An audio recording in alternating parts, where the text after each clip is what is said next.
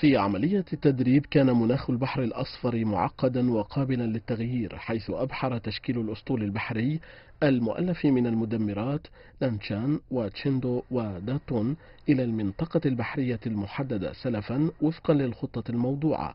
ونفذ تدريبا متعدد الدورات في ظل ظروف الطقس المعقدة.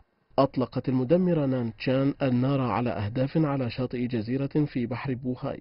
بعد تحديد الهدف نفذ المدفع الرئيسي للمدمرة نانشان ضربة دقيقة. في وقت لاحق شكلت المدمرات الثلاثة تشكيلا لتركيز قوتها النارية لمهاجمة الأهداف على الشاطئ في وقت واحد.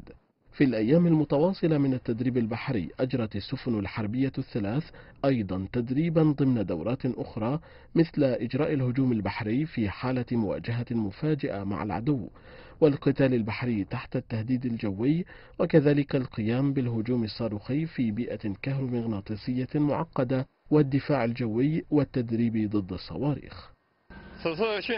في هذا التدريب ركزنا على نتائج التدريب الفعلية السعي لمحاكاة حالة قتال فعلية حيث ركز التدريب على استخدام الفعلي للأسلحة وتطبيقات التكتيك في الحرب وممارسة العمليات الفعلية مما عاد إلى تحسين قدرة السفن الفردية وتشكيلات على أداء المحامل القتالية المختلفة.